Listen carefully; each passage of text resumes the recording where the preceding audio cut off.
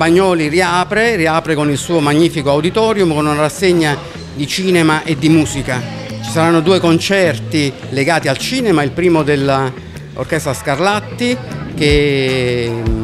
diciamo, ci farà sentire le musiche dei film di Totò e si chiuderà con un concerto di, del maestro Carlo Morelli con le principali ehm, colonne sonore cinematografiche di, di tutti i tempi.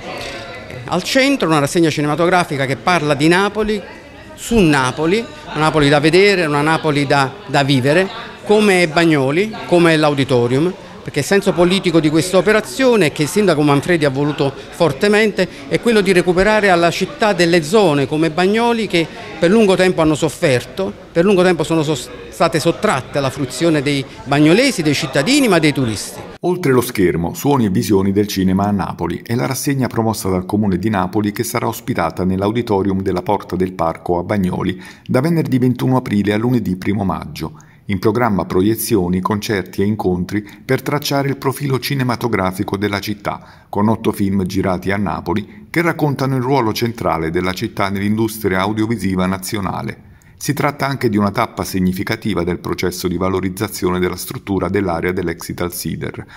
Tutti gli appuntamenti sono a ingresso gratuito fino ad esaurimento posti, con prenotazione obbligatoria sulla piattaforma Eventbrite